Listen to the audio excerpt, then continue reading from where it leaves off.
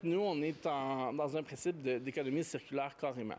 Donc, euh, pour nous, une économie circulaire, c'est d'éviter, en fait, en premier lieu, de faire sortir d'une usine un équipement neuf. Donc, en vrai, on va se poser la question si l'équipement usagé qu'on a en face de nous peut servir à nouveau ou pas. Euh, donc, en vrai, le recyclage, pour nous, tout ça est du recyclage, mais le recyclage final, mettons, de prendre l'équipement puis de le défaire pour ses matières premières, pour nous, c'est la dernière étape et non la première.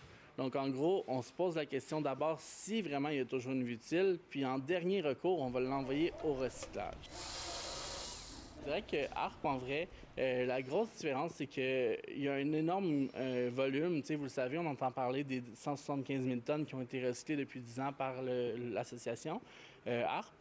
Donc, euh, nous, en fait, la grosse différence, c'est que euh, on, est est à côté de, ce programme-là actuellement. On est en train de se certifier pour devenir euh, un partenaire du programme. Par contre, nous, on vise vraiment plus le réemploi. On veut vraiment comme se poser la question sur est-ce que l'équipement est encore bon? puis on souhaiterait que le programme ARP nous aide à faire ça.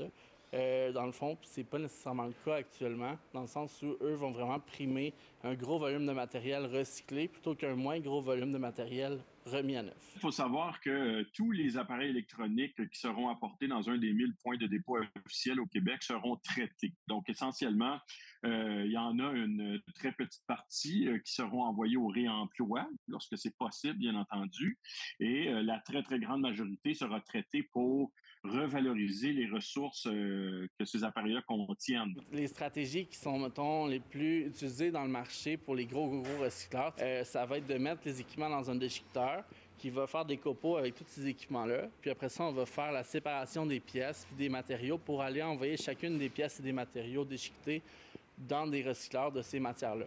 Donc le verre, le plastique, l'aluminium, les cartes mères. Il y a comme une conscience sociale, je pense, qui s'est établie au fil des ans. c'est surtout ça qu'on remarque dans notre marché, si on veut. Qu'avant, les gens étaient comme ah, pas le temps pour ça. Euh, ah, euh, nous autres, on envoie ça. Euh, il y en a même qui nous disent on envoie ça dans le conteneur à déchets, puis on était comme, mais voyons, on fait pas ça. Une entreprise pourrait décider de mettre ça aux poubelles, puis il n'y a personne qui s'en rendrait compte en réalité.